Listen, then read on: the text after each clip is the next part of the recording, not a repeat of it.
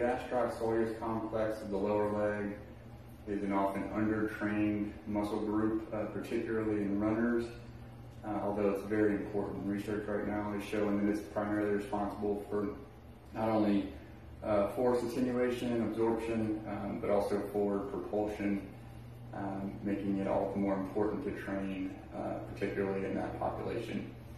So what you want to do is get some kind of bench or box,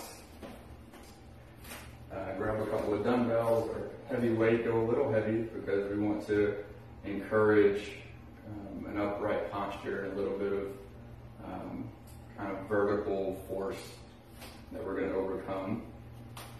We'll put the contralateral leg uh, on a box, um, and then what we're going to do is this also limits how much forward translation uh, or thrusting that we can get uh, in this movement, which is a common uh, compensation in you know traditional heel lifts.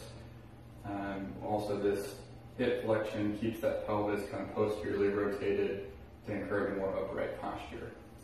Uh, you'll go up fast and down slow to work on concentric power and eccentric control.